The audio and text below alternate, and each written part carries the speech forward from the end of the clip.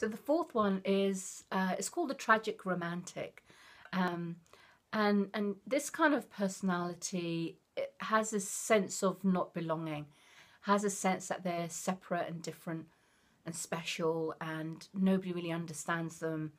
Um, they can be very dreamy in their own world. You know, poets, writers, um, musicians are quite creative as well.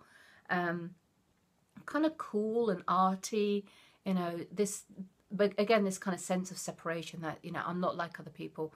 I have my own thing. I'm quite unique, quite different. Um, and, you know, they're kind of like separating themselves from the rest of the culture. But, you know, on the downside, you can be quite melancholy, quite insecure, um, quite like not trusting, um, quite lonely, quite sad as well. Um, you know, and, and, and it can lead, on the downside, it can lead to quite a lot of depression too. So, yeah, that's number four.